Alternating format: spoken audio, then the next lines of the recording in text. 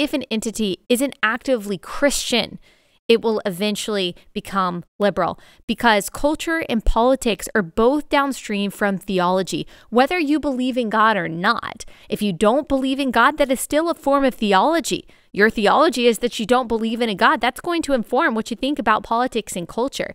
If you do believe in God, if you believe in the first verse or the first chapter of the first book of the Bible, that God created the heavens and the earth, then that is also going to inform what you think about culture and politics. So I would argue if an entity does not have a firm foundation in God, does not have a firm foundation in Genesis, a firm foundation in the Word of God, then it will eventually give way to social pressure and social whims because why not?